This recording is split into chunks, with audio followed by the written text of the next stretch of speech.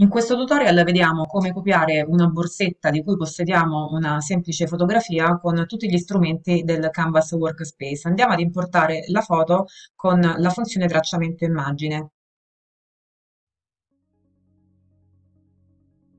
Dobbiamo scegliere l'impostazione traccia aree per colore e abbassare il numero di colori eh, individuati per poter tracciare meno profili.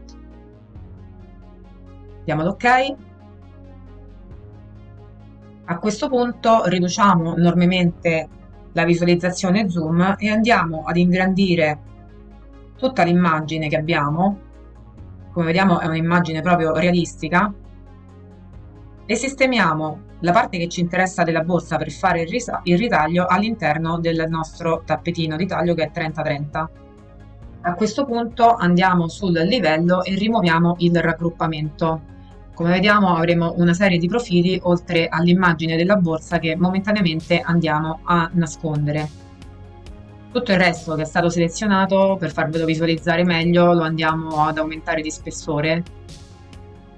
Ecco così è tutto visibile. Avendo rimosso il raggruppamento andiamo a cancellare i profili che non ci interessano. Ah, ce ne sono altri due e cancelliamo. Ritorniamo ad una condizione di zoom normale, alle dimensioni del tappetino di supporto. Ancora c'è qualcosa da fare. Come vediamo ci sono dei profili in eccesso, per esempio per le maniglie, e poi se osserviamo bene non c'è una simmetria perfetta. Se dividiamo la borsa nei quattro quadranti eh, con un asse orizzontale e verticale, vediamo che per esempio qui compare una spigolosità che da quest'altro lato non c'è eh, questo lato mi sembra meno largo di quest'altro, insomma una serie di differenze che se poi dobbiamo andare a tagliare il materiale un po' rigido tipo il cartoncino potrebbe succedere che la borsa non si piega bene se fosse per esempio una scatolina. Con l'aiuto di un rettangolo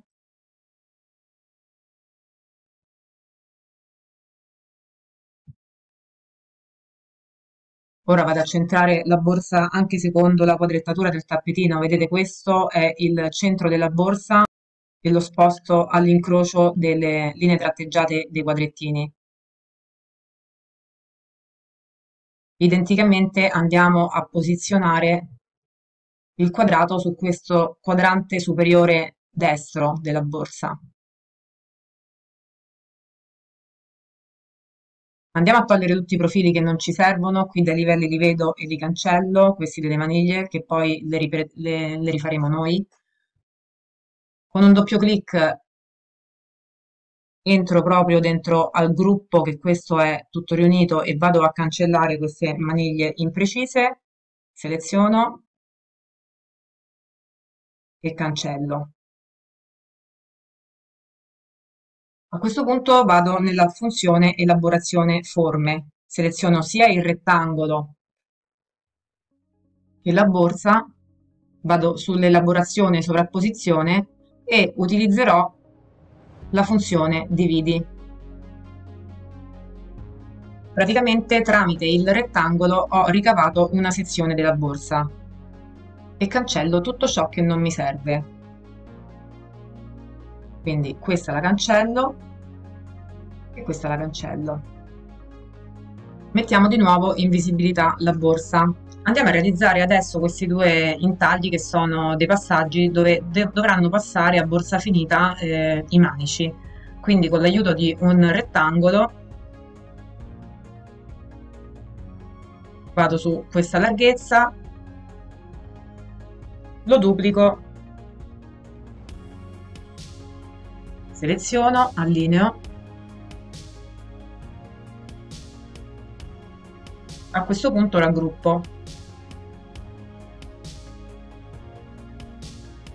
Lo trascino nella posizione e aumento notevolmente lo zoom per realizzare l'allineamento perché questo questo, questi due intagli devono essere paralleli a questo lato.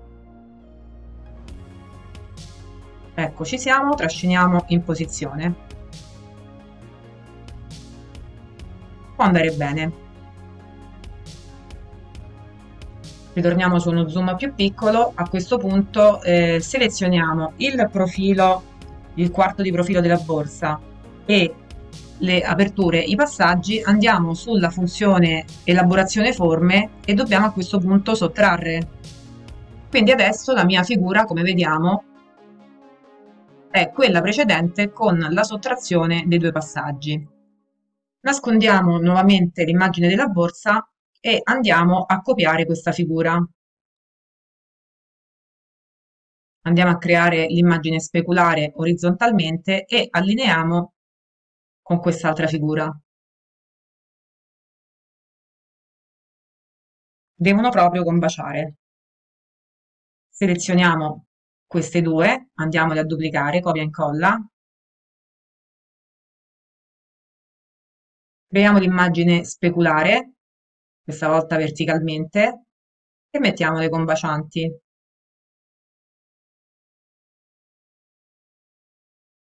Ci siamo. A questo punto le seleziono a 2 a 2 e utilizzo questa volta la funzione unione forme.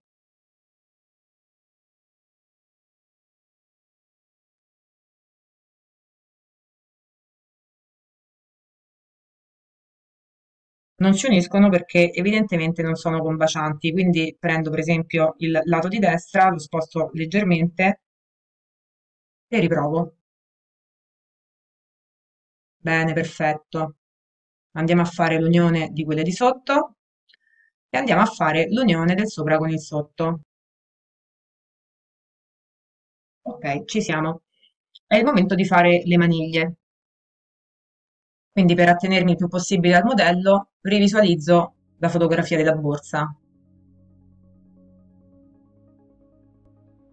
Tutte le differenze che vedete con il eh, profilo fotografato della borsa sono eh, semplicemente dovute alla foto che ha cercato di mettere in piano una figura che comunque aveva già una forma, quindi è sicuramente più precisa quella che abbiamo creato insieme rispetto a quella reale.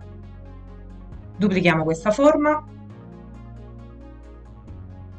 la giriamo e la mettiamo nell'altra posizione. Rinascondo la borsa.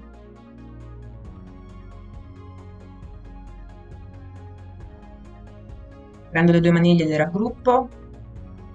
Seleziono l'ultimo gruppo e la borsa e faccio il centramento in verticale. Aggiungiamo una piccola decorazione un'immagine dal computer, eh, quindi sempre con la funzione tracciamento immagine scegliamo questo qui. Tracciamo solo il contorno esterno e diamo l'ok trasciniamo l'intaglio su un fianco della borsa. Lo duplichiamo sull'altro fianco della borsa. Andiamo sempre sui centramenti pignoli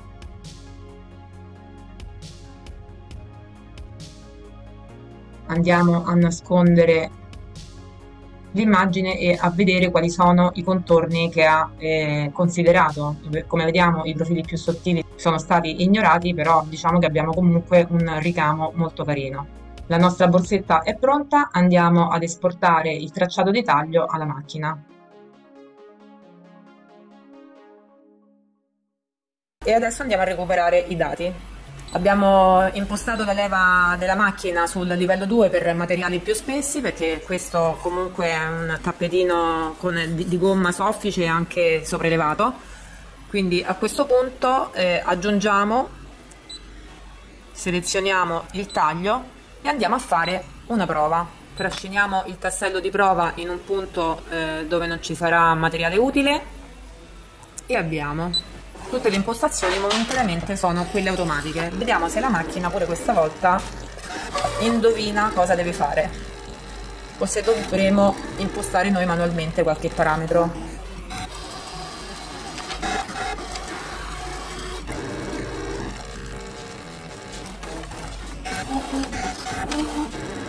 Vedete che dice il tempo stimato per il completamento del taglio è stato aggiornato quindi torna in punti la punta dove non è presente il materiale, riprende il riferimento con il livello e decide se ritagliare o no sullo stesso elemento. Ok, la chirurgia è avvenuta con successo, possiamo avviare il taglio. Come ci comportiamo? È un materiale molto particolare. Come vedete, il file che gli ho inviato per il momento sono solo eh, dei ricamini che sono presenti al centro della borsa, non è tutto il profilo completo di taglio. Stiamo facendo delle maniglie, stiamo facendo dei piccoli fori. Certamente quello che sta togliendo tantissimo tempo è proprio la realizzazione di questo ricamo.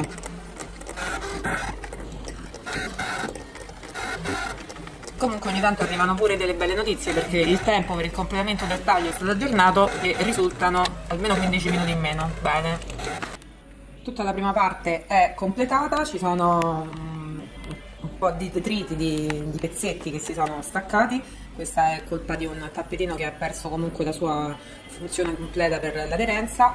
E adesso andiamo a importare il tracciato di taglio del contorno totale della borsetta. Tutte le prove sono state fatte, selezioniamo il taglio e avviamo.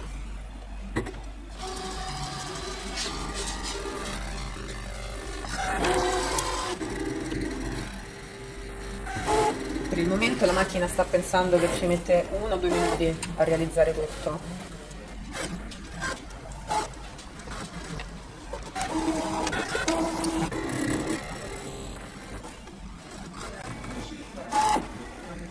passando la seconda volta.